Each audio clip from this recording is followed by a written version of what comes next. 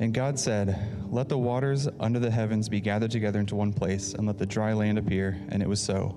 God called the dry land earth, and the waters that were gathered together he called seas. And God saw that it was good. And God said, Let the earth sprout vegetation, plants yielding seed, and fruit trees bearing fruit in which is their seed, each according to its kind on the earth. And it was so. The earth brought forth vegetation plants, yielding seed according to their own kinds, and trees bearing fruit in which is their seed, each according to its kind. And God saw that it was good. And there was evening and there was morning the third day. And God said, Let there be lights in the expanse of the heavens to separate the day from the night, and let them be for signs and for seasons, and for days and years, and let them be lights in the expanse of the heavens to give light upon the earth. And it was so. And God made the two great lights the greater light to rule the day, and the lesser light to rule the night, and the stars. And God set them in the expanse of the heavens to give light on the earth, to rule over the day and over the night, and to separate the light from the darkness. And God saw that it was good. And there was evening, and there was morning, the fourth day. And God said, Let the waters swarm the swarm with swarms of living creatures, and let birds fly above the earth across the expanse of the heavens. So God created the great sea creatures and every living creature that moves, with which the waters swarm, according to their kinds, and every winged bird according to its kind. And God saw that it was good. And God blessed them, saying, Be fruitful and multiply, and fill the waters in the seas, and let birds multiply on the earth. And there was evening, and there was morning, the fifth day.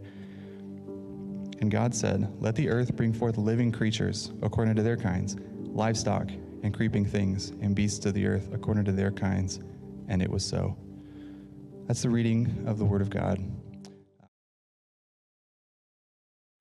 If you have your Bibles, turn them to Genesis chapter 1. I hope you have your Bible. We are in this series called The Origin Story. Um, it, it, comes from the, the, the, the, Hebrew Bereshith, which means in the beginning. Uh, if you looked at the Hebrew Bible, it doesn't say Genesis per se, it just says in the beginning. And so we just decided that as a church, we're going to take as long as it takes us to go through this text verse by verse. There'll be some pauses you'll see in April because in this house, we, we, we, we at least honor the feast. And so uh, we'll have a, a, Passover on the 15th, somewhere around there in April. And uh, we'll teach on the feast for a couple of weeks so that you can understand the prophetic nature and the historic nature of them. And, and then we'll take a break and do it again in the fall. Uh, there'll be another pause in there uh, where we have an, another series coming, um, really uh, uh, designed around what the church is supposed to be like. Uh, the working title is The Missional Church, and we'll, uh, we'll do that in, in May. But outside of that, we're going to go verse by verse through Genesis, and so we've made it all the way to verse nine in five weeks. I think we'll we'll speed up some. Um, but let me just remind you that in the beginning, it, it, the scripture teaches is that God was intimately involved in creation. There's three words that are important. It says that He created, and, and that means He created something out of nothing. It said that He spoke and He said, Light be. And, and at the sound and the mention of His word, the spoken word, creation took place. And then it tells us that he made, and it's a, it's a word that means his hands were intimately, intricately involved in the creation process. And so, day one, we saw that light be. And, and then in day two, we see that God de- de- defines the heavens from the earth. And then day three, we see these land, sea, and, and the veggies. We've, we've taken a look at our text and, we, have tried to look at it from the three perspectives, and, and we use three people in our culture. The, the first person is Joe Rogan, right? An, atheist who, who, who says that, you know, people who believe in God are crazy, and I'm a big fan. I think he's on a journey that's cool. The second perspective we wanted to look at it from is what I would call uh, more of a deist, and, and we referenced Dr. Jordan Peterson, and and his thoughts on, on how he speaks into culture is a brilliant mind. If you've not read 10 Rules for Life, I think you should. And then we looked at Dr. Tim Keller, Presbyterian minister, and what he sees the gospel unpacking. And so we, we, we, when we approach the text, we know that we approach it from three different places either as an atheist, a deist, or a, a theist, someone who is, knows God because God wants to be known. So we had to address the old earth and firmaments and, and young earth and billions of years old versus thousands of years old. And what do we do with all of those things? And our response is we're just going to stand firm on what the Word of God says. We're going to trust that, that, like in most cases, science will catch up to the Word of God. If you don't know, I just want to remind you that for years, science said that the, that the earth, material matter, was, was, was eternal. And, and now they say that time, space, and matter had, had a beginning. And that God doesn't, is not somebody with, with lots of time. He, he exists outside of the confinement of what we have of time, space, and matter. And so we want to approach the scripture with that in mind. Now, God continues to teach us, and, and um, I, I want to say that what I'm going to teach you today is controversial. Um, you're like, are we at Nephilim? Not yet. Genesis 6. Some of y'all went on YouTube and are scarred, and it's okay. It's okay. Join the club. We're not there. But I believe what I'm supposed to teach, and I've wrestled with this for months. Matter of fact, it was out of my notes until about a month ago. I was just going to put it in the, sup, uh, the, the Bible study that we're going to do for this. And I was like, no, no, no, no. I think our, our, our church can handle this. So read with me, if you will, in Genesis 1, and we'll begin in verse 9. And God said, This is Him speaking again, let there be lights in the expanse of the heavens to separate the day from the night and let them be for signs, for seasons, and for days and years. And let them lights be in the expanse of the heavens to give light upon the earth. And it was so. What God said happened. And God made the two great lights, the greater light to rule the day, the lesser light to rule the night, and the stars. And God set them in the expanse of the heavens to give light on the earth, to rule over the day and over the night, and to separate the light from the darkness. And God saw that it was good. And there was morning and evening on the fourth day. If we take scripture just at its word, he tells us the scripture, the creation story, when, when heaven and earth collide. This is out of the most venerated text of, of all of scripture. It's called the Torah. This is the book of the beginnings. And, and God tells us this that He's going to give us these lights and He's going to give them to be signs for seasons days, and years. So the Father, in his infinite wisdom, put signs in the stars. What if I told you that the stars actually tell the gospel story? What if I told you in God's infinite wisdom, and we're going to get to it, I, I, don't even remember when, but it's coming. After the fall, Adam and Eve are asked to step outside of the garden. And, and, and God gives them consequences for their actions. And, and, what if I told you that Adam and Eve start to behave in a peculiar way and they, they, they start to obey things that we don't know until the book of Leviticus, almost like they heard things from God. So, what if the Father, in his infinite wisdom, as he walked with them in the cool of the day, what if he told them his story through his stars? Would that shock anybody? Like if an infinite God had the ability to communicate to his people and he wanted to tell his story to his creation in as many ways as he could, through the living, you're a living story. God is still writing his story through the lives of his people. You are a living La Biblia, you are a living Bible. And he's writing his story through you. So, what if in his infinite wisdom, he wanted to make sure there was a n- number of ways for us to know and hear the story. Many of you are going to know what a zodiac is. Now, don't go and get stones from the parking lot. We're not quite there yet, okay? I'm getting nervous, all right? Scripture teaches us that God has named every one of the stars. So if they are there, they are not there by accident, which means they are there by design. And if they are there by design, what if he's trying to tell us a story? And what if, like most good things from the Father, culture has hijacked it, manipulated it, and made it idolatrous in witchcraft? Now, you might be surprised, but I wouldn't be. See, the word zodiac comes from the Greek, but There was a Hebrew word that is sodi.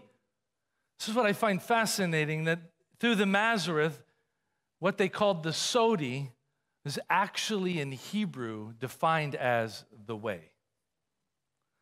Now, some of you are like the Bible, you're like, oh my Lord, wasn't that what the first century church was called in the book of Acts? Yes, it was. They were called the way. And so, what if for a moment we could just believe that the Father was going to put in the stars, which if you live in the city, we can't see them anymore, right? You got to drive out, right? but what if he, we told a story? What if I told you that each of the 12 signs actually represented one of the 12 tribes of Israel? Would your mind kind of be blown just for a second? I think it's important for me to teach, so I'm going to go to. So if you have a seatbelt, put it on.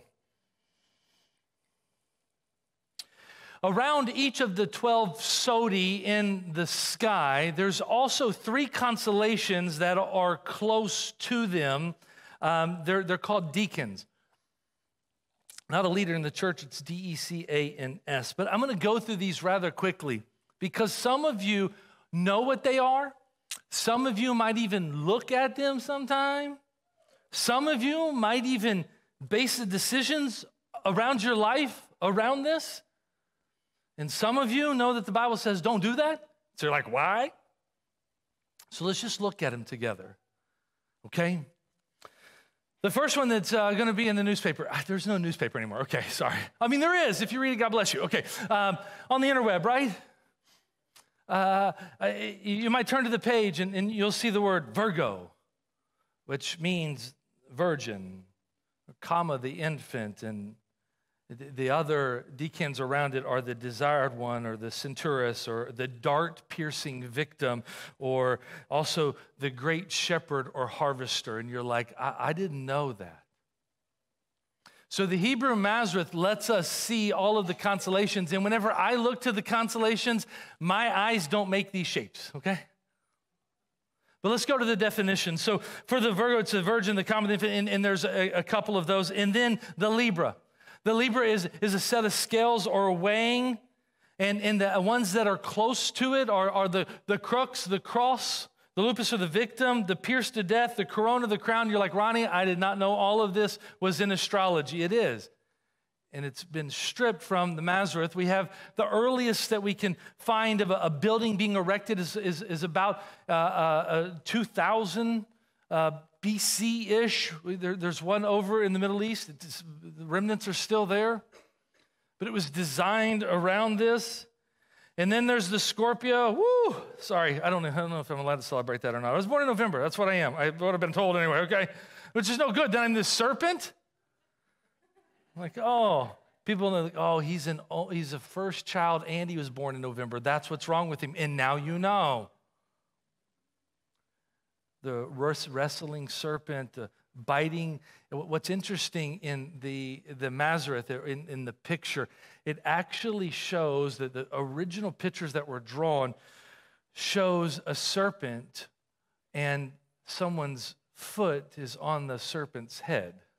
I don't know where that came from. There's Sagittarius, who is the archer, Lyra, the eagle.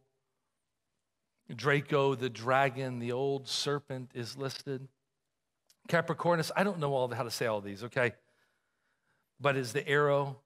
Uh, close to it is Aquila the eagle and, and the dolphin, which there's some translational issues there. And then Aquarius, Aquarius, I don't know how you say it, okay? Then, uh, and then there's a fish and the winged horse and the swan, and then Pisces and Aries and and it, it's this band and it shows a woman enchained and then it shows a crowned king and then there's a woman enthroned and there's a sea monster but there's also a bound lamb and an armed mighty man. I, I know this is all too coincidental. Let me keep going. Then there's taurus who's the glorious prince and around him is orion's river and and then there's a shepherd there again, and then Gemini, which is the hare or the serpent, and then there's Cancer, and then there is Leo. Now, the reason that I'm going to teach you about this today is because all of us have friends who are either looking into this or have looked into this or use this as an explanation of one of the reasons they don't believe God exists. And what we as followers of Messiah say is no, no, he wrote his story in the stars. He was, he told his story. See, if you do some research, and, and I've done hours, in culture, the names and, and, and the pictures are, are all relatively similar. But like I said, if I'm honest, I look at the constellations and I don't draw these shapes in my head. But if you look at these in the order of the brightest constellation to the dimmest constellation, and then you look at their meaning and their in the te- in the, the, the way they were defined in the Mazzaroth. I want you to see something for a moment. Imagine for a moment this story has been passed down. God is always telling stories from generation to generation as they sat under the stars. Now, before I do this, I know that there are dozens of verses, or at least three or four that you would probably share with me. They would give you pause for some pastor even touching this subject as he goes through the book of Genesis. Some of you might think I'm a heretic, and I don't blame you. It might be for another reason. Uh, but I, I want to see these things in context. If you have your Bibles, turn them to Deuteronomy. You're in Genesis, so it's Genesis, Exodus, Leviticus, Numbers, and Deuteronomy. Deuteronomy is a part of the Torah. It's the first five books of Moses. It's this venerated text that's been around. In the 18th chapter, it says this When you come into the land that your God is giving you, you shall not learn to follow the abominable practices of those nations. There shall not be found among you anyone who burns his sons or his daughters as an, as an offering don't you know in, in Canaan, child sacrifice was very, very common. And God says, hey, we don't, we don't do that. Even when you're really tempted to do so, it's not. Okay. Anyone who practices divinations or tells fortunes, fortunes or, or, or interprets omens or, or sorcerer or a charmer or a medium or a necromancer or one who inquires of the dead, for whoever does these things is an abomination. Big word means make God mad, okay? And because of these abominations to the Lord your God is driving them out before you. God says, This is what people do that don't know me. This is how people seek their future because they don't follow after me. Isaiah gives us another warning. He says, You are wearied with your many counsels. Let them stand forth and save you, those who divide the heavens, who gaze at the stars, who at the new moons make known what shall come to you. Behold, they are like stubble. The fire consumes them. They cannot deliver themselves from the power of the flame. No coal for warning oneself, no fire to sit before. I want to suggest something before I dive into this a little bit deeper. I would make the suggestion that the Father doesn't want you to not look at the stars, but he does want you to look at them to bring glory to his name. What I might suggest is that God doesn't want you to look somewhere else for your identity, your direction, your purpose, but He wants you to look to Him to be glorified. So I would suggest that the warning in the text is for us not to look at the stars for guidance, for when we do, they become an abomination, an idol. But when we look to the stars for His glory, His faithfulness, see, we've seen that science is always trying to hijack the story of God. Now, for the record, I am not promoting astrology. I don't think it's healthy for you to check your horoscope. I don't think it's healthy for you to blame your birth month on your Enneagram number or your personality type. But the fact of the matter is, historically, all of the stars had names. So if they had names, they must have been important to God. And if they have names, they've had names for thousands of years. And I just might want to believe that God might be trying to tell his redemptive story to his creation through his creation. Psalms 147, the psalmist says this He, speaking of God, determines the number of the stars and he gives name to them all. He's the one that passed down the names. Job, in, in, in, the 38th chapter, he, he's been wrestling with God, and, and God responds to Job. He says, Where's the way to the dwelling of light, and where's the place of darkness that you may take it to its territory, and that you may discern the paths to its home? Lift up your eyes on high and see who created these he who brings out their hosts by number, calling them by name, by the greatness of his might, and because he is strong in power, not one is missing. To go back to the prophet Isaiah, he says this Lift up your eyes on high and see who created these. Who created them? So, what is his story? What is the names of the stars? So, from the Mazzaroth, I'm just going to read them. The reason I didn't go through all of the names before, if you'd like that, I believe it's on social media. It's probably on the app. If it's not, email, text the church. if we were to translate Virgo and see it from the Mazzaroth perspective, it would say the seed of the woman, the desire of nations, the man of double nature in humiliation and the exalted shepherd and harvester. What if you look at it from the Mazzaroth perspective and you see the word liber and you see that it really, not the scales, but it shows the price to be paid, the crux or the cross to be endured, you see that the victim is slain and the crown is purchased. What if with the Scorpio, the conflict, the serpent's coils, the struggle with the enemy, the toiling vanquisher of evil? Sagittarius, the double natured one, triumphing. He gladdens the heavens. He builds fire of punishment and he casts down the dragon.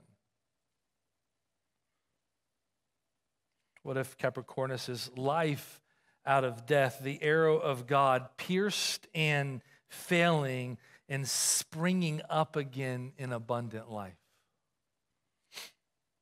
What if Aquarius was life waters from on high? What if his drinking in the heavenly food, carrying the good news, bearing aloft the cross over all the earth? What if Pisces is really about the multiplication of the Redeemer's people, the upheld government by the Lamb, the intended bride bound and exposed, and the bridegroom exalted. What if for Aries, the Lamb found worthy, the bride released in making ready, and the serpent or Satan bound, breaking triumphantly?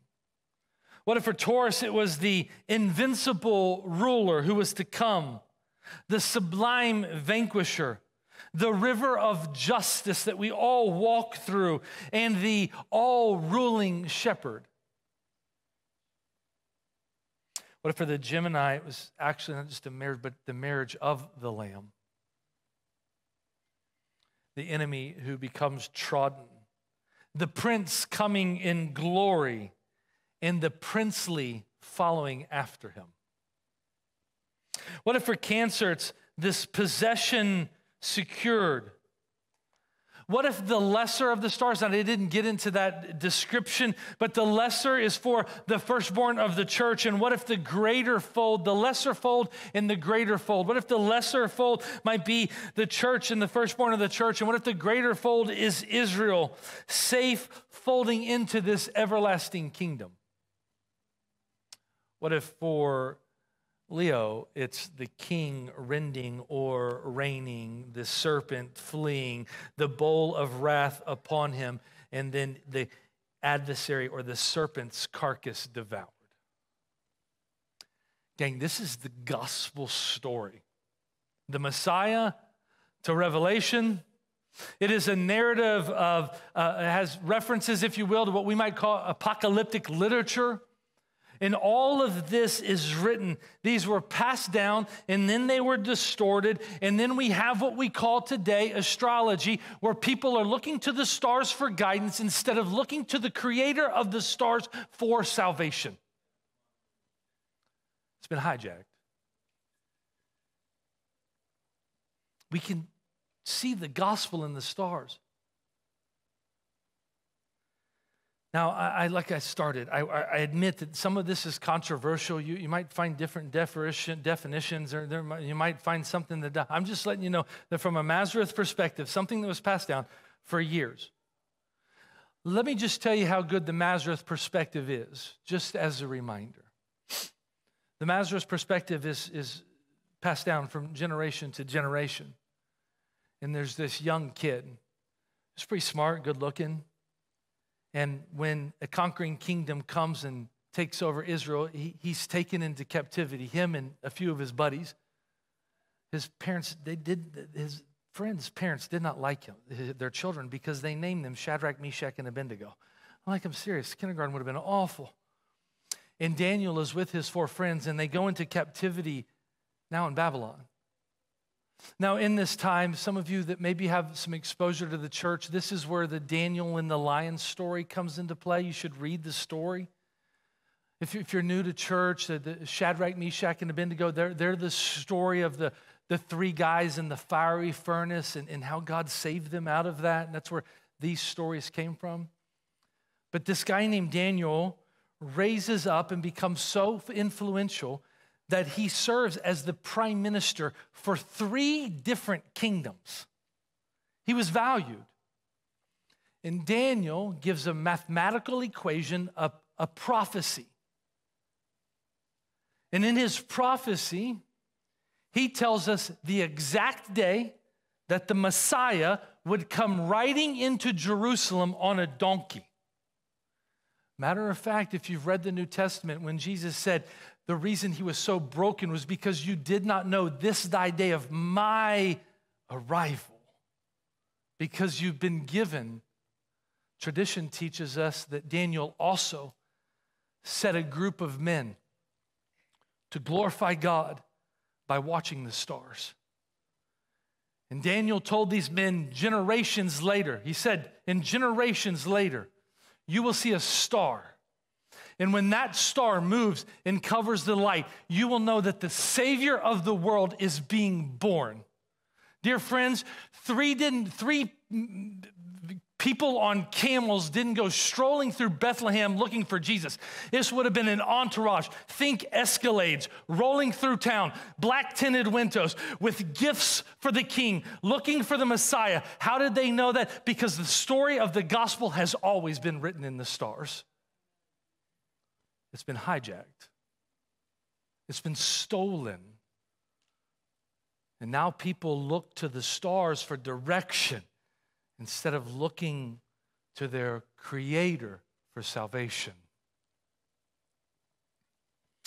Dr. Chuck Missler, uh, a pretty brilliant dude, and I'm going to try to elaborate on this quote, but he says, God's greatest achievement is not his creation. Now I'd be like, well, hold on. If you look at the creation, look at it. Look how vast it is. Look how unique it is. And Chuck Missler would argue that God's greatest achievement is not his creation, but his greatest achievement is the redemption of mankind. Dear friends, when he spoke and created and made, he had this gospel story in mind when he created and he made. Before the foundations of the world, you were on his mind. What does this mean?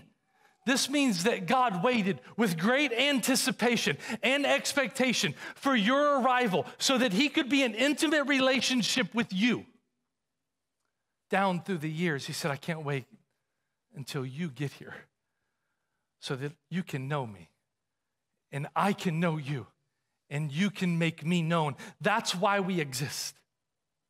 The creation story is that a starfish brings more glory to God because it exists in its purpose and does what it was created to do than mankind does because we were created to make much of God and glorify God and serve Him. And in what we do is we serve other things, good things.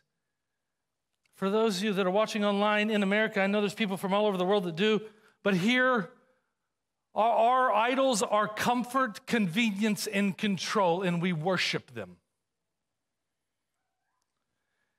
The story of the gospel is that He wants to redeem you, He wants to be in a right relationship with you. See, the creation story gets some chapters in Genesis, which we've been working through. The creation story has some uh, chapters in Job. It has a few chapters in Isaiah. There's some Psalms that give us some clarity around all of that. But the witness of all of Scripture is the redemption of mankind. It is a holy God making a way for an unholy people. Yes, the heavens declare the glory of God. And the enemy will always try to distort the truth of God's revelation. It brings us to day five. Day five in Genesis, it says, Let the waters swarm with swarms of living creatures, and let the birds fly above the earth across the expanse of the heaven. So God created the great sea creatures and every living creature that moves which swarms and which with the water swarm. It's really easy for me to say the W's and the S's and the R's. I'm like, yeah, thank you, Genesis. All right, here we go. Verse 22 And God blessed them, saying, Be fruitful and multiply and fill the waters in the sea and the birds multiply on the earth. And there was evening and the morning on the fifth day. We're going to jump down just a little bit to Genesis 1, verse uh, 24 or uh, 2, 24 and 25. God said, Let the earth bring forth living creatures according to their kind, livestock and creeping things, and beasts of the earth according to their kind. And it was so. And God made the beasts of the earth according to their kind, the livestock according to their kind, and everything that creeps on the ground according to its kind. And God saw that it was good. In, in this day six creation, we see the creation of man, and we're going to get to that next week, and the image that we bear and the responsibility that we have. But what this portion of Scripture does, which so many of the portions of Scripture that we've read have, it really does cast doubt on evolution. There's a bunch of reasons out there that people say the earth isn't billions of years old. There, a matter of fact, I was reading, because you guys know I've been reading scientific journals because I'm, I'm, trying to keep up and make sure that I'm not a crazy person. But this week, I'm, I'm trying to give you a new thing from uh, Scientific America. This week, they've now decided that the T Rex wasn't the T Rex, that the T Rex and all of the fossil record is actually at least three different animals. Do you know how disappointed I am? It's one of my favorite dinosaurs. Like, I wonder how he did with his little hands. I, I don't, I want to believe that he wasn't a meat eater and he just walked up to trees and went, uh, I don't know if that's true, but it's what I wanted to think, like his little arms. And now, apparently, as science continues to catch up with itself, this is what I mean. We don't have to believe, I don't want to call it garbage, but we need to teach our children that they were created in the image of God, designed by God, with purpose, dignity, worth, value.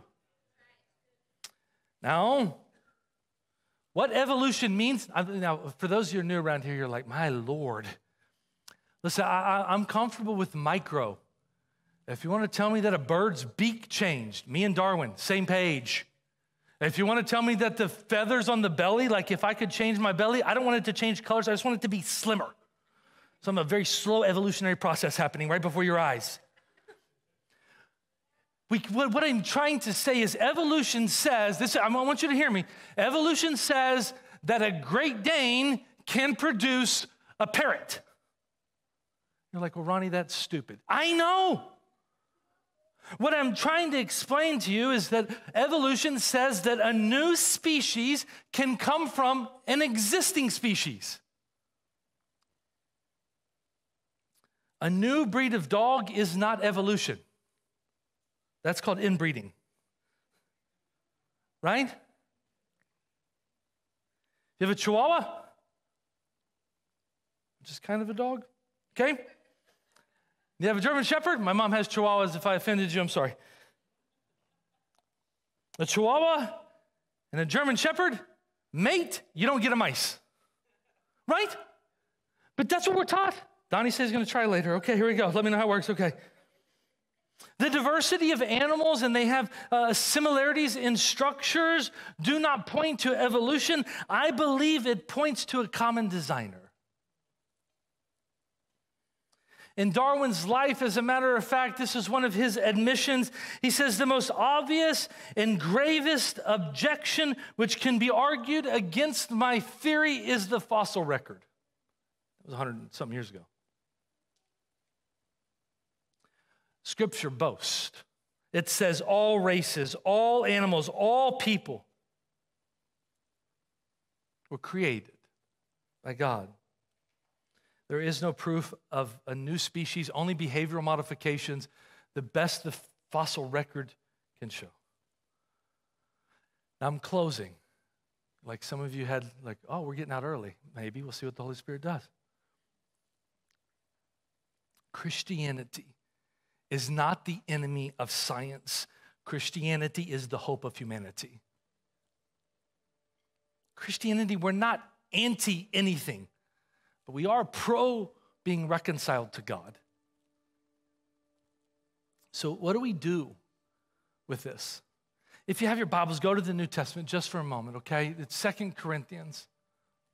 If, if you're new around here, the, the reason we read this book, it, it was collected by people who are following after God.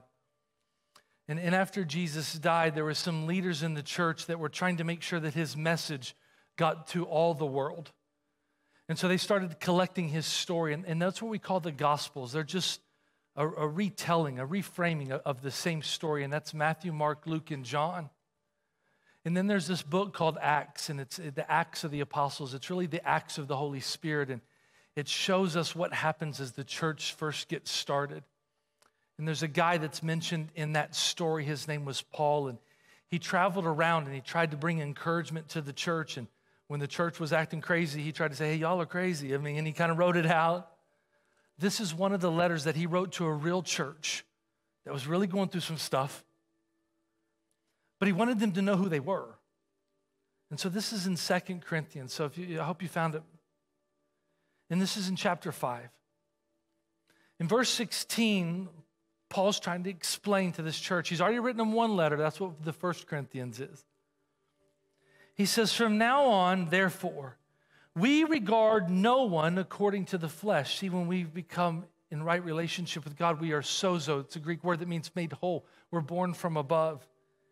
Even though we once regarded Christ according to the flesh, we regard him thus no longer. We no longer see him through eyes of the flesh, we, we see him with spiritual eyes.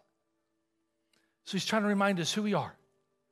This is what he says. He says, Therefore, if anyone is in Christ, he is a, a new creation. He actually uses the Greek word metamorphoso, metamorpho, and it's the same word that, that you and I get. Metamorphosis, it's, it's what a butterfly does, right? It, it, we're a new creation.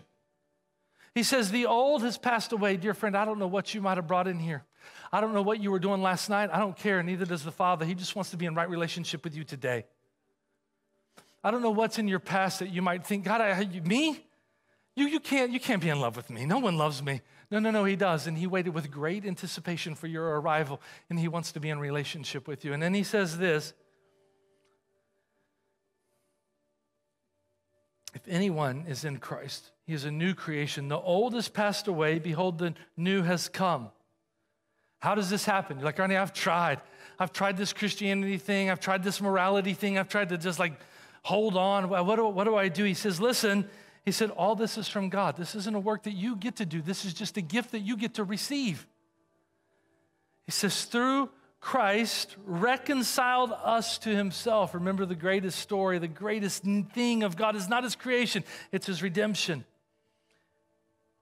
All this is from God, who through Christ reconciled us to himself and gave us, us as the ministry of reconciliation. So now that we've been known by God and we know God, we make him known. He says this That is, in Christ, God was reconciling the world to himself, not counting their trespasses against them, and entrusting to us the message of reconciliation. Therefore, we are ambassadors. Everybody say ambassadors. Ambassadors. I, I want to pause here. Do you know what this means? This means the same rights, the same privileges, and the same responsibilities of Jesus has been bestowed upon his church. That means when we go into the workplace, we represent a different kingdom. When we, when we, we serve among people, we represent a different kingdom. See, yes, the kingdom of heaven, if you've read the book of Revelation and it terrified you, yes, Jesus is coming back. But right now, we are ambassadors with the same rights, the same privileges, and the same responsibilities to usher in the kingdom of heaven. And it's why when people see that, that they marvel at God when we live as these people of reconciliation and are trying to make right all of our relationships, the world around us, mind is blown. And then, because of the way you live, because of the way you bring, into the, bring the kingdom to your workplace and to your family and to your friends and to your employees and into your boss, the way you bring and usher in the kingdom, everybody around you begins to glorify God. See, this is the hope that we have. This is the responsibility of the, this thing called the ecclesia. Ecclesia is the Greek word for church, it's, it's the gathering of God's people into a movement to bring the kingdom into their workplaces and into their families. And then he says, Why? Keep reading in verse 20. God makes his appeal through us. God is making his appeal to the world around us through us. We implore you, on behalf of Christ, be reconciled to God. For his sake, he made him, Jesus, to be sin who knew no sin, so that in him, in Christ, we might become the righteousness of God. Dear friends, you can live a holy life. You don't need the bondage and the baggage. You can be free. That's what he wants to do today. He wants to make all things new. When we look to the stars, we don't look to the stars for the answers for our life. We look to the stars to the answer of life. Jesus is talking to a professional religious person. His name was Nicodemus. He was one of the most 70 influential men of his time. He was a part of this thing called the Sanhedrin. It's like a Jewish Supreme Court, but it's much bigger.